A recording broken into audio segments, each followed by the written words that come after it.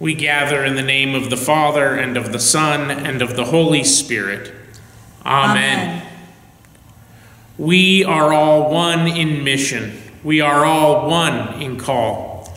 Our, Our very gifts united by Christ the Lord of all. all. It is not the church which has a mission, but it is God's mission which has a church. We are the church, the body of our Lord. We are all God's children, and we have been restored. Let us join together in speaking God's mission for Peace Lutheran Church. By God's grace, we grow and share our faith, welcoming all and striving to live in the spirit and love of Christ.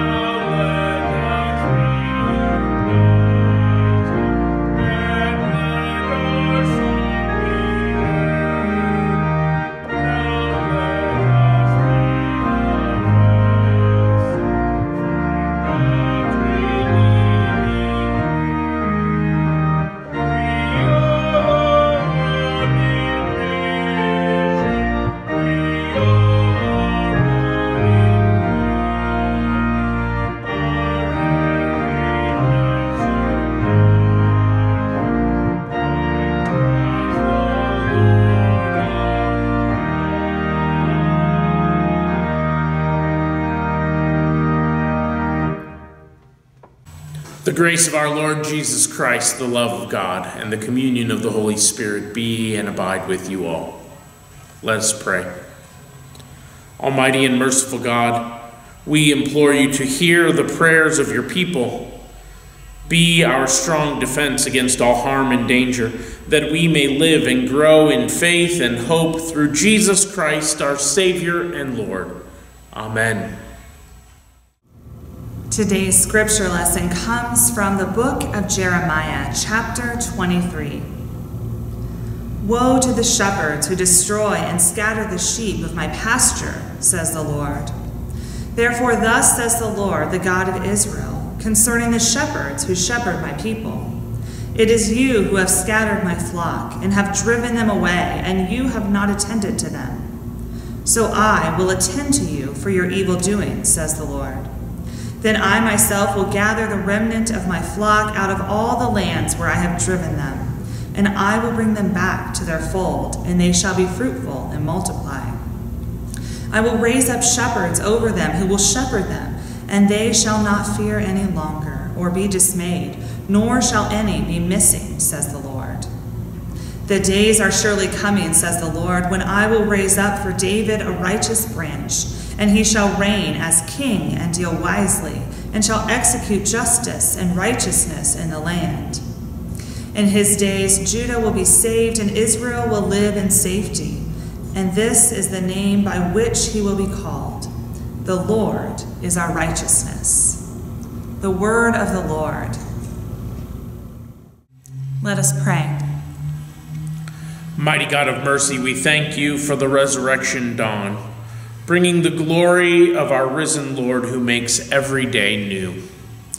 Especially we thank you for the sustaining goodness of your creation, for the new creation in Christ and all gifts of healing and forgiveness, for the gifts of relationship with others, for the communion of faith in your church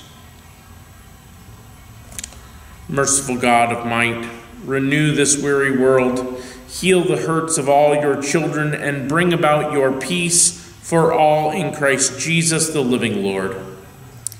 Especially we pray for those who govern nations of the world, for the people in countries ravaged by strife or warfare, for all who work for peace and international harmony for all who strive to save the earth from carelessness and destruction, for the church of Jesus Christ in every land. O God, you have called your servants to ventures of which we cannot see the ending, by pathways as yet untrodden, through perils unknown. Give us faith to go out with good courage, not knowing where we go but only that your hand is leading us and your love supporting us. Through Jesus Christ our Lord. Amen. Amen. Let us bless the Lord. Thanks, Thanks be to God. God.